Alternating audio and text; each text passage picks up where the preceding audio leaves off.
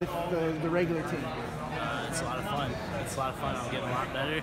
Uh, and I would just say, with the coaches and the partners I have, uh, it's my favorite part of the day. Okay.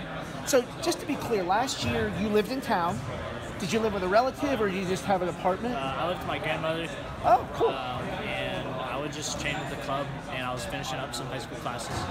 And was that were you able to do that online or? Uh, a little bit online, and then um, just curriculum that we've found uh, that Pennsylvania the, and Penn State University accept. Okay.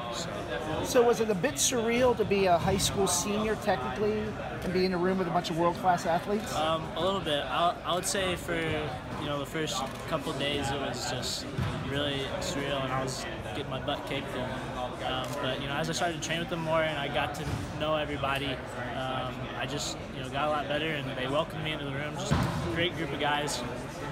Um, but you know, they're just my family now. So yeah, no, I'd say um, the transition is, you know, the first couple months is also always really tough, but I would say the transition is ongoing because I'm always learning and I'm always trying to get better. I'm always trying to get my butt kicked in here and uh, learn something. So I would say, you know, the first couple months are the toughest, but there's always a, a constant transition for you, especially when you're a young guy. Do you have your mindset on starting this year or is this a, a process you're going to let play out? Uh, I would think it's a little bit too early to say. I think the coaching staff they're thinking about things, but um, I would say it's just a process I'm gonna let play out. I'm just every day I'm in here trying to get better, and uh, that's just my plan for right now. You have to pl- let it play. Um, no, I, I think it's it's not hard to be super patient. Obviously, um, you know we like to compete, but you know there's competitions um, whether you're redshirt or not. So um, you know I would say I just find enjoyment from wrestling every day with these guys,